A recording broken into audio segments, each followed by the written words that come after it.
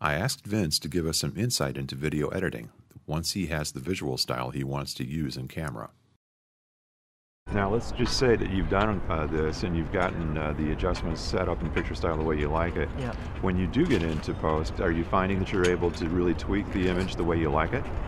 Surprisingly, after all said and done, I think you can do a tremendous amount in post. Uh, you can really just take an overcast day and make it look like it's a warm, you know, sunny afternoon glow. Mm-hmm. Um, what you can't fix are things like overexposure or going out of the realm of what the camera can capture. So whenever you crush the blacks, which means you go way too dark, or you blow out the highlights, which means you go past, you know, the pure white, or you go in a certain tonal range with colors. You're way, way too yellow or too blue.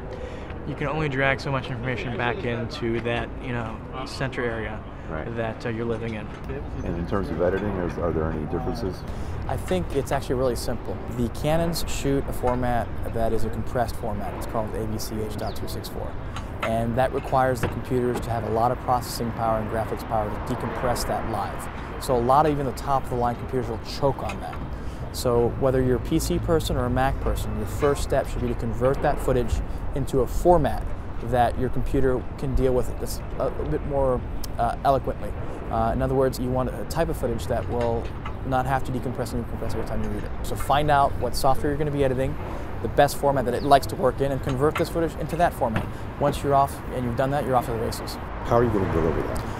And uh, that's a good question again because it's ironically the question people tend to ask themselves a bit too late in the process. The first question you should ask yourself, whether uh, you're just starting off or have clients, is what's the deliverable? What's the end result here? Are you going to play this on a silver screen, on your television, on your computer screen, or on your phone? So find out what's your end goal here and you're good to go.